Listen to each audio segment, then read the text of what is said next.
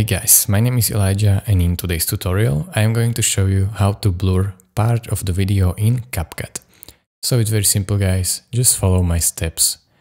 First thing you need to do is pick your clip and then duplicate it. So click on it, Command C, Command V or Control C, Control V if you are on Windows. Now match the clips perfectly on top of each other as you can see and then apply blur on the top clip.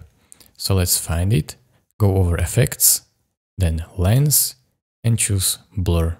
Drag and drop it on your clip. Then simply select your clip, go over to mask and then choose mask how you like. So let's say I will choose circle and then I can place this circle, let's say here on her head. And as you can see, now this part of the video is blurred out.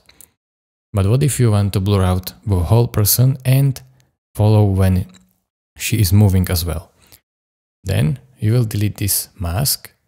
So this so click none and go over to cutout and click on this auto cutout. And as you can see now, when I play it back, you can see that she is blurred, but the background isn't.